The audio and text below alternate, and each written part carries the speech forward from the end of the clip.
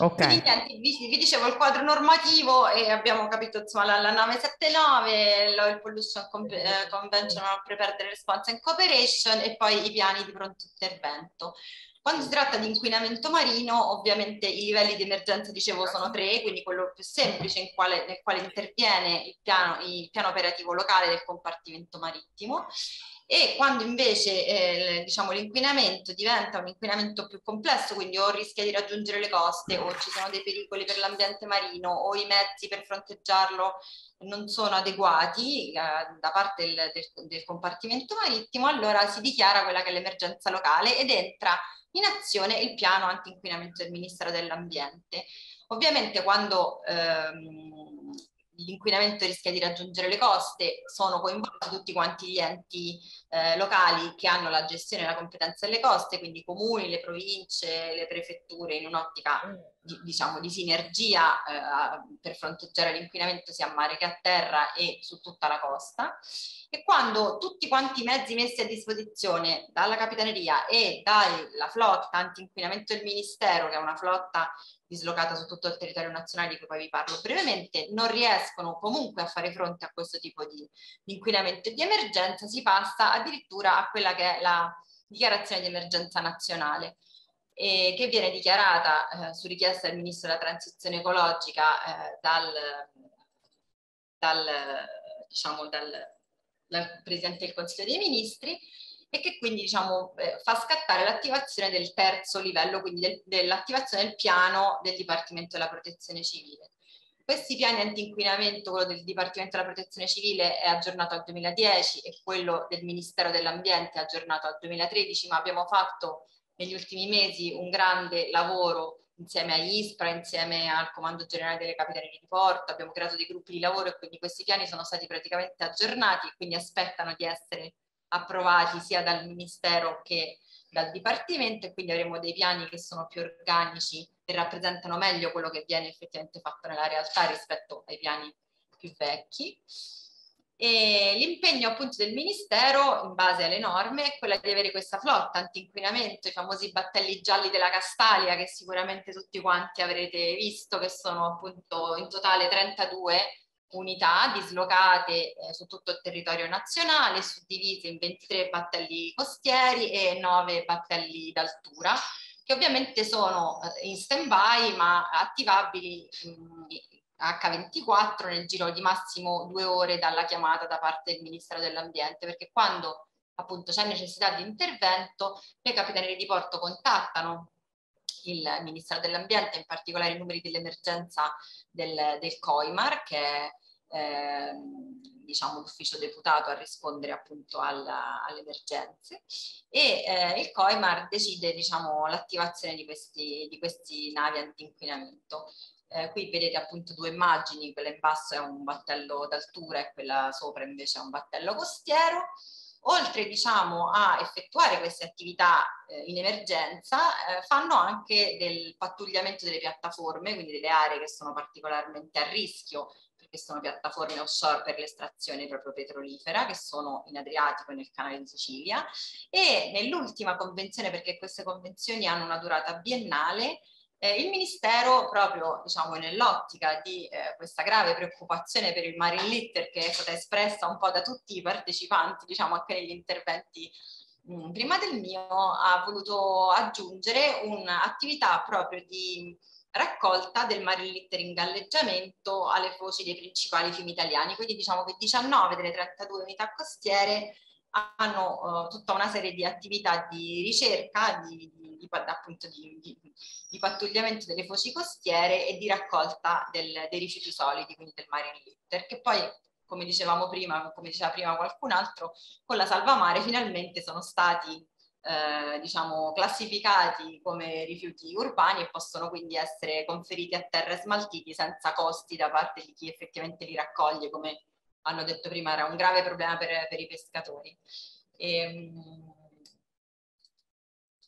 e, diciamo, come dicevo appunto, partono su indicazione del, del, Ministero a seguito della richiesta o da parte dell'autorità marittima competente che sta quindi gestendo un inquinamento nelle acque nazionali, oppure per quanto riguarda gli interventi in acque internazionali abbiamo ovviamente dei, dei meccanismi di cooperazione perché sappiamo che il Mar Mediterraneo è un, un bacino estremamente delicato e, e che quindi diciamo i confini in mare non esistono e quindi ovviamente lo spirito è quello di riuscire a mh, lavorare quanto prima, di intervenire quanto prima su tutte le situazioni che possono in qualche modo mettere a rischio la biodiversità e la salute del nostro mare. E quindi eh, i battelli Cassalia possono essere attivati anche dai eh, membri del, del, del, dell'Unione Europea attraverso eh, l'EMSA, quindi l'Agenzia Marittima per la Sicurezza eh, Europea,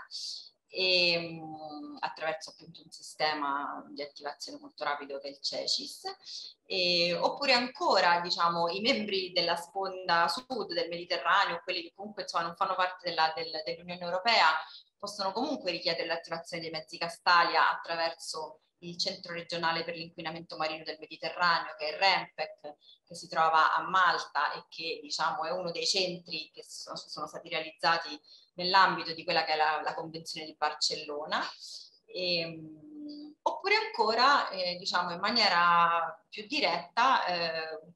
l'argomento diciamo, che sarà oggetto de, delle slide successive, eh, posso, posso, può essere richiesto l'intervento dei mezzi anti-inquinamento e ovviamente anche della Guardia Costiera ehm, italiana attraverso l'accordo Ramos.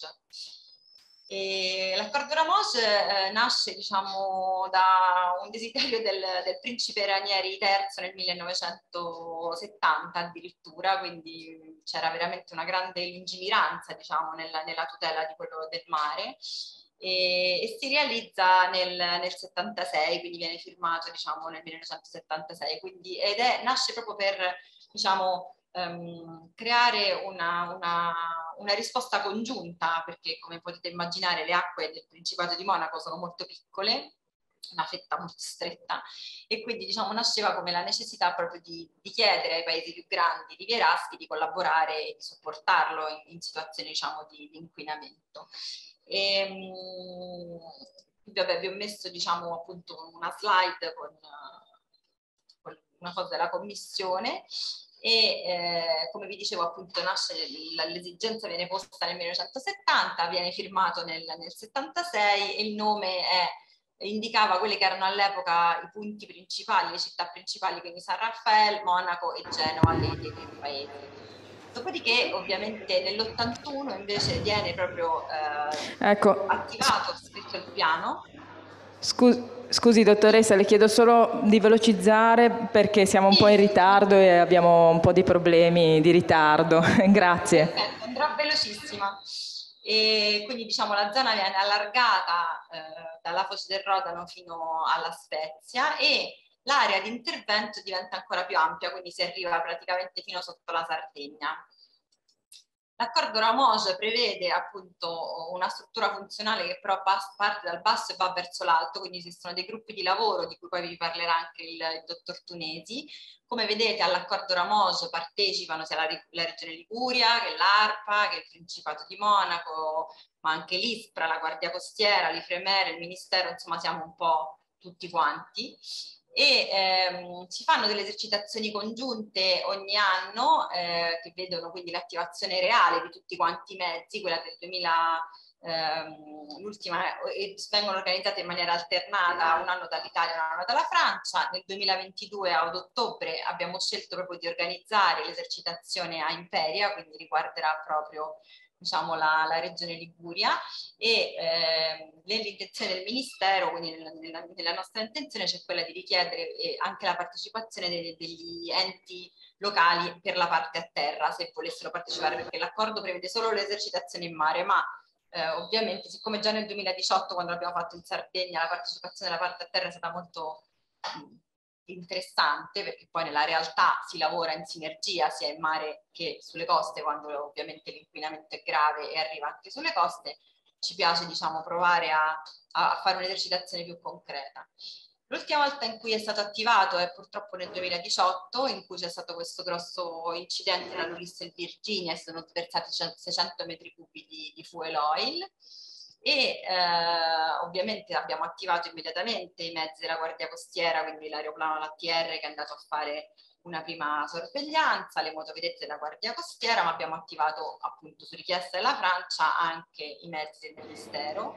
e quindi sono intervenuti cinque mezzi d'altura che hanno lavorato per 15 giorni e hanno recuperato 287 metri cubi di fueloil, di quei famosi diciamo eh, 600 sversati. Nonostante questo ovviamente l'inquinamento fortunatamente dalle correnti è stato portato principalmente diciamo, in Francia, non ha coinvolto in maniera importante le, le acque territoriali, cioè le coste italiane, ma il lavoro diciamo, a mare è stato particolarmente intenso. Concludo invece con una cosa, una nota positiva, nel senso che ehm, la, il Ministero ha due convenzioni che tendono appunto a ehm, con, le, con il Comando Generale delle Capitanerie di Porto che tendono a tutelare le aree marine protette la prima, eh, appunto, l'ultima, insomma,